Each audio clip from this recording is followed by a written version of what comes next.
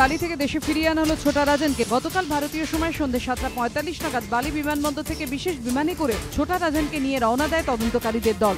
ছোটা রাজান সংক্রান্ত যাবতীয় মামলা মুম্বাই পুলিশের থেকে সিবিআইয়ের হাতে তুলে দেওয়া হবে বলে জানিয়েছে মহারাষ্ট্র সরকার। বাড়ানো হয়েছে সিবিআই দপ্তরের নিরাপত্তা। জামিন মামলা নিষ্পত্তি না হওয়া পর্যন্ত মদন মিত্রকে পুলিশে ঘেরাটোপে নজরবন্দি করে রাখার নির্দেশ দিয়েছে হাইকোর্ট। আপাতত চিকিৎসার জন্য উডল্যান্ডস হাসপাতালে ভর্তি রয়েছেন মন্ত্রী। গতকাল হাইকোর্ট অন্তর্বর্তী নির্দেশে জানিয়েছে, চিকিৎসার জন্য যতদিন প্রয়োজন মদন মিত্র হাসপাতালে থাকতে পারেন। তবে সেখানে তাকে থাকতে হবে পুলিশের নজরদারিতে। সুস্থ হয়ে হাসপাতাল থেকে ছুটি পেলে যেতে হবে বাড়িতে, সেখানেও পুলিশে ঘেরাটোপে নজরবন্দি থাকতে হবে।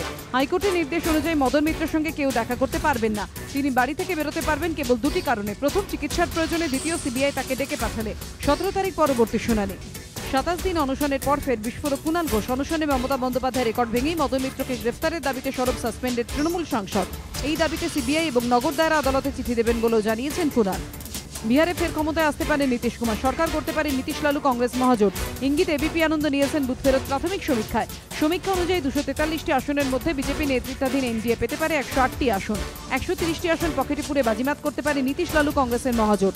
অন্যান্যরা পেতে পারে পাঁচটি আসন। এবিপি আনন্দ নিয়েছেন বুথ ফেরত সমীক্ষা অনুযায়ী। প্রাপ্ত ভোটের নিরিখে এনডিএ পেতে পারে বিয়াল্লিশ শতাংশ ভোট। মহাজোটে ঝুলিতে যেতে পারে চুয়াল্লিশ শতাংশ ভোট। এবং অন্যরা পেতে পারে চোদ্দ শতাংশ ভোট। অন্যান্য একাধিক চ্যানেলের সমীক্ষাতেও সেই একই ইঙ্গিত।